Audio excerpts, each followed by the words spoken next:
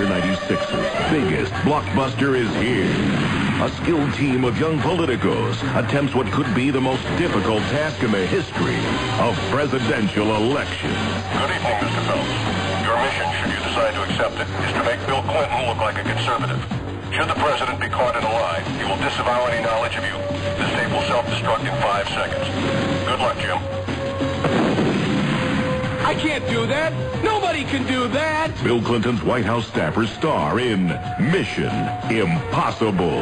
I've invaded KGB headquarters, raided files. I've been in Saddam Hussein's office, but I've never had to do anything this tough before. Mission Impossible, the story of a crack team of PR people who are pushed to their limits, trying to give Bill Clinton some sense of credibility. Okay, today he'll say he's against gay marriages. Uh, and he has put 100,000 cops on the street. Oh, yeah, sure. Like the public's going to believe that. Why don't you just have him announce he's for meaningful welfare reform? No, no. Have him say he likes Tommy Thompson's welfare plan. Gee. Mission Impossible. Better see this one. There may not be a sequel. Year 96's biggest blockbuster is here. A skilled team of young politicos attempts what could be the most difficult task in the history of presidential elections. Decide to accept it, is to make Bill Clinton look like a conservative. Should the president be caught in a lie, he will disavow any knowledge of you. This tape will self-destruct in five seconds. Good luck, Jim.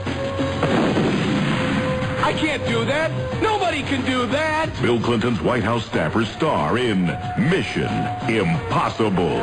I've invaded KGB headquarters, raided files. I've been in Saddam Hussein's office, but I've never had to do anything this tough before. Mission Impossible, the story of a crack team of PR people who are pushed to their limits, trying to give Bill Clinton some sense of credibility.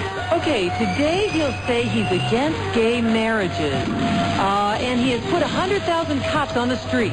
Oh, yeah, sure. Like the public's going to believe that. Why don't you just have him announce he's for meaningful welfare reform? No, no. Have him say he likes Tommy Thompson's welfare plan. Gee. Mission Impossible.